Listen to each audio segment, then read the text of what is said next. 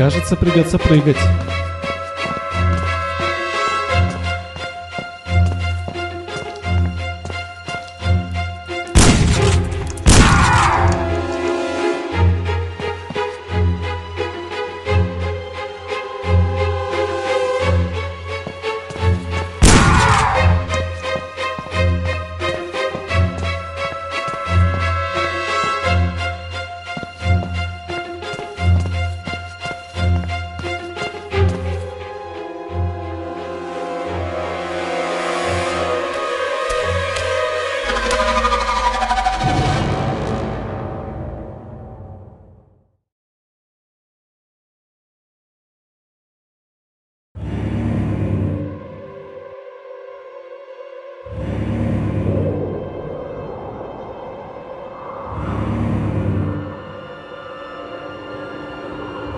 Течение последних шести месяцев экспедиция моего отца Владимира Ефимова занималась бурением льда и исследованием найденных в нем доисторических ископаемых на станции Антарктида-1.